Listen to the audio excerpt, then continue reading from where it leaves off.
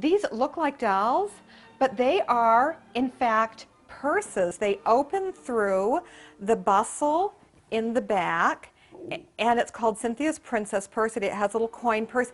And I came up with this concept because, you know, there's so much violence in society, and we're hearing now so much about little girls, you know, beating each other up in um, school. So this concept is to encourage little girls to carry kindness and thoughtfulness with them in addition to their tangible objects.